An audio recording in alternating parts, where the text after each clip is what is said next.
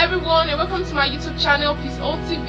Yes, this is my YouTube channel where I get to share topics regarding my faith, regarding lifestyle. I get to share opinions and ideas I feel will get to bless you or lift your spirit. So I get to post um these videos. So if you are new to my YouTube channel, please hit the subscription button subscribe to the channel hit the notification bell also so that you get up um you get notified whenever i get to post new videos okay um first and foremost i want to appreciate every one of you for the encouragement so far for the support. Like thank you so much. Thank you i really appreciate and my last video i discussed the topic dealing with jealousy.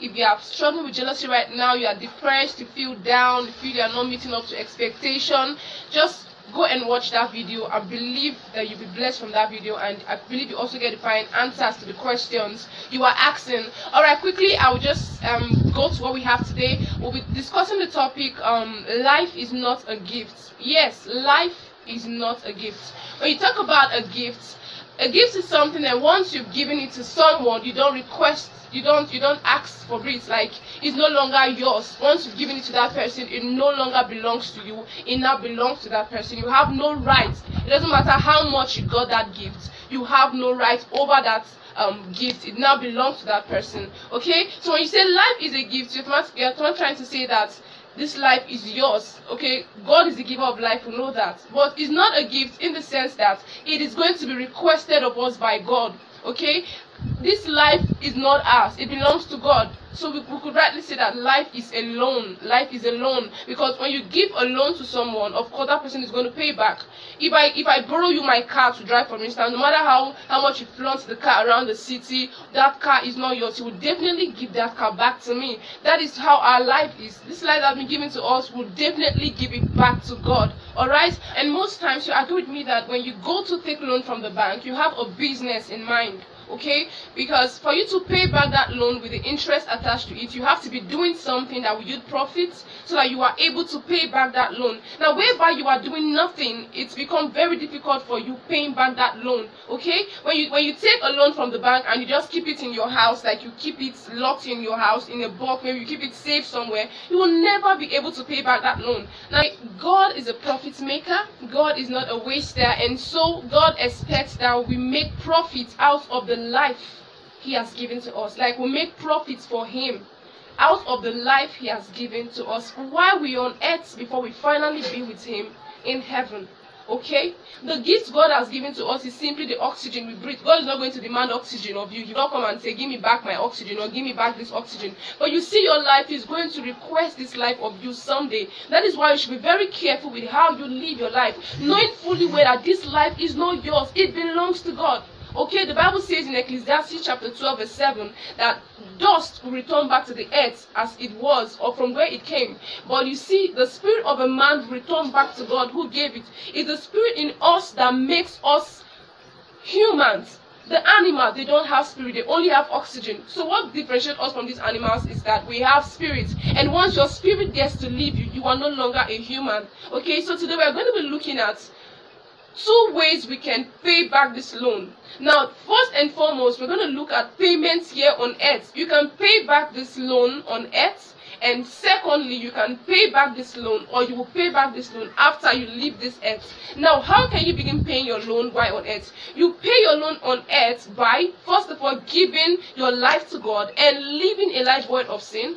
One, two, let your life, let the lifestyle you live get to draw men to God. If you are living your life and your life is not bringing men to God, you are not living to the fullness of the will of God for your life. Your life is meant to bring people to God. You are meant to stand out as an example that other persons will see and want to follow. Your life is supposed to be a challenge to others who are outside of God. They want they are meant to see you and want to know God. Your life is meant to attract souls to the kingdom of God. Your life is meant to demoralize the kingdom of darkness. Okay? You are not just meant to live and just die and go. No you, you are meant to leave a footprint on earth. You're meant to take up a generation for Jesus Christ. You're meant to be a light in this dark world. In so doing, you are paying back the loan that God has given to you. Now, secondly, you're going to pay back this loan after you leave this earth. Like I said in Ecclesiastes chapter 12, that the spirit of a man will go back to God that gave it. Your spirit will return back to God. That is how we're supposed to live. But that is dependent on if you actually live your life here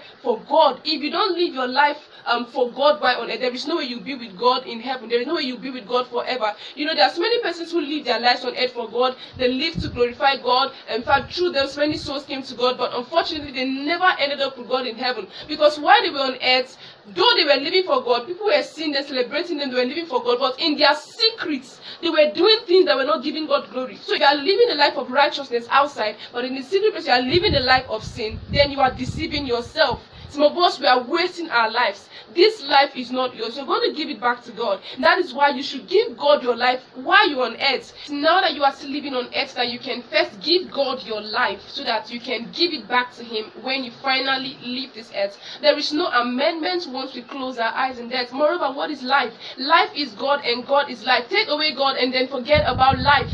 A man has life when he's connected to God. When you disconnect from God, there is no life. Okay, the Bible does understand that it is God, the, the presence or the personality of God in us that makes us living being. Without Jesus, because I mentioned Jesus because it is through Jesus Christ that we have access to God. Jesus is the only access to God. Okay, so many people believe in God, but whereby the Jesus factor is taken away, there is no accessing God. Jesus is the access to God. That is why I, I, I urge you listening to me right now, you should make your ways right with God. This life is borrowed, my brother. It is not yours and it's going to be requested of you. Just like the parable of the talents. The master came back and he asked them, what did you use the talent for? The other one used it for nothing and he was punished. That is how we're going to be punished on the last day if we do not live our lives for God. Of us are whiling away our time in sin. Remember, sin is pleasurable, but the end is destruction. Sinners will end up in hell. But you see, you can save yourself the torments of hell by turning to God, by living a life for God. That is the only way you can pay back this loan. But if you are living the life of sin, name it, sinners will not make it to heaven.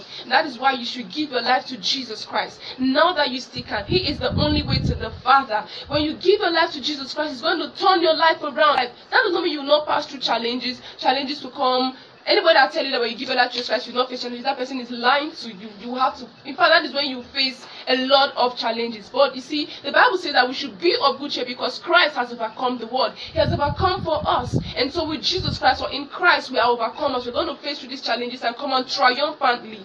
Okay? So please, I urge you, if you watch this video to the end, I appreciate you for watching to the end. But I want you to go home with one thing, that this life is not a gift. It is a loan. When somebody gives you a gift, he will not take it back. But God gave us life, and He's going to ask this life of us someday at the point of our death when we turn back to Him.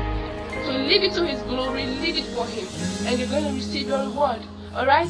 God bless you. Thank you so much. If you watch this video and you know your life is not right with God, you want to make your ways right with God, can you join me in this prayer? See, when somebody is in Christ Jesus, all things are possible, regardless of your past, regardless of your past mistakes. I made a lot of mistakes in my past, but in Christ, it's, it's, it's, it's, it's a whole new page. It's a whole new story. So please, you want to give a life to Jesus Christ. You know you've not been living your life to the glory of God. You've been living in sin. You've been trying so hard to fight it. Temptation keeps coming. You want to fight it, but you see yourself falling all over over and all over again and you want to make amends, can you just join me as we pray right now? Can you just say, Dear Lord Jesus, I thank you for my life. I thank you for the gift of salvation. I thank you for dying on the cross of Calvary for me. I have heard today that my life is more of a loan than a gift because someday you're going to require this life of me. I ask that you help me to live this life to the fullest for your glory. Help me to live this life to show forth your greatness. Help me to live this life to show forth your praise. Give me the grace to live a life void of sin. Help me to live a victorious Christian life. And then I'm able to finish my journey and finish well and finally be with you in glory.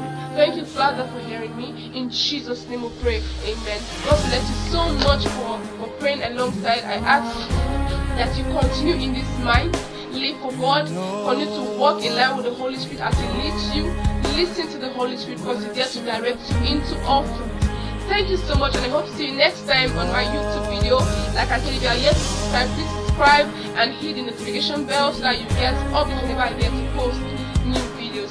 Thank you so much for subscribing to my channel. Thank you so much for watching.